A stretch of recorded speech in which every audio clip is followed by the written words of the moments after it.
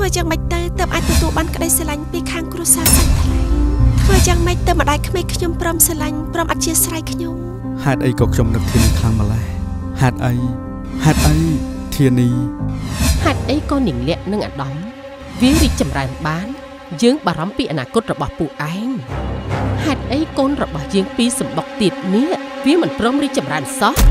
ផ្ទះអតិថិជនឈ្មោះធានីនោះតើដំណើរការសម្អាតដល់ណាហើយ គឺខ្ញុំគិតថារួចព្រឹកស្អែកនេះហើយលោកប្រធានខ្ញុំគិតថាគួរតែពជាពេលមួយសប្តាហ៍ទៀតទៅថាម៉េចមួយសប្តាហ៍ទៀតដែរលោកប្រធានរឿង